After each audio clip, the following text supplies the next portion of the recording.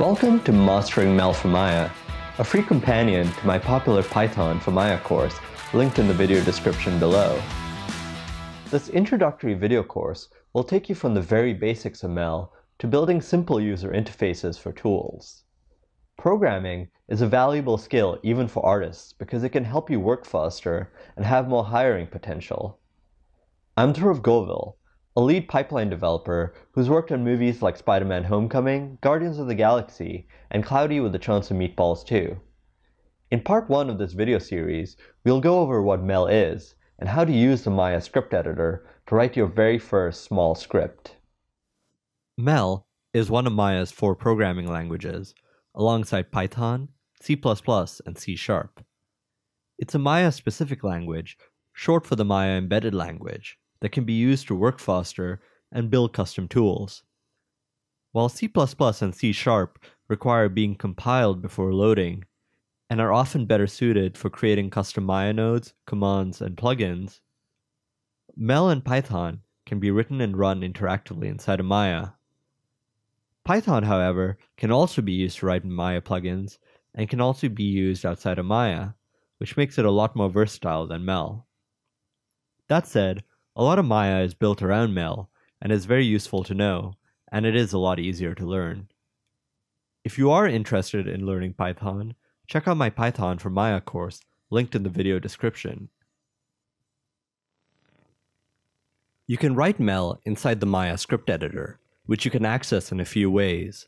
The first is by going to Windows, General Editors, Script Editor. This opens up the script editor window. You can also access this window by clicking on the shortcut button in the bottom right corner of the Maya main window. Finally, you can also convert any viewport into the script editor by going to Panels, Panel, and click on Script Editor. Inside the script editor, we have two panes.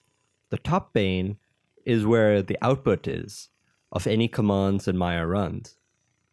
And down here is where we write our code.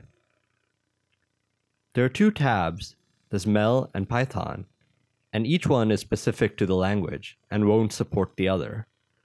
If you want to add new tabs, you can click on the little plus button here and choose the language. For now, let's not create a new tab. Let's write our first script. We're going to say print, and in double quotes, we'll say hello, and put your name here. In my case, my name is Dhruv, so I'm going to say hello Dhruv, and I'll close it out with the double quotes. Finally, I'll end the line with a semicolon.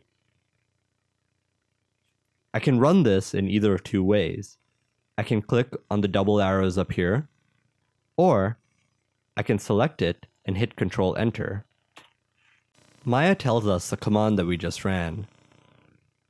And following that, it gives us the output. And just like we told it to, it says hello Dhruv.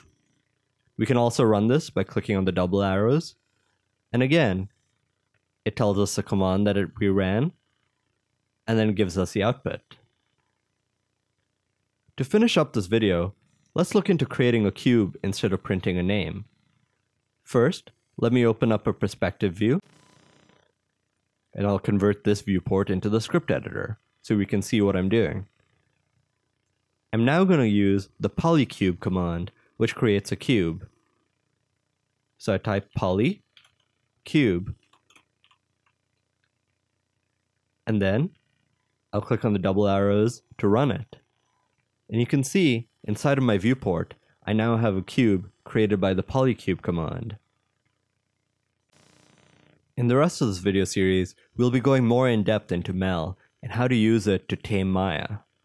If you're interested in learning more about programming inside of Maya, check out my popular Python for Maya course, which is linked in the video description below.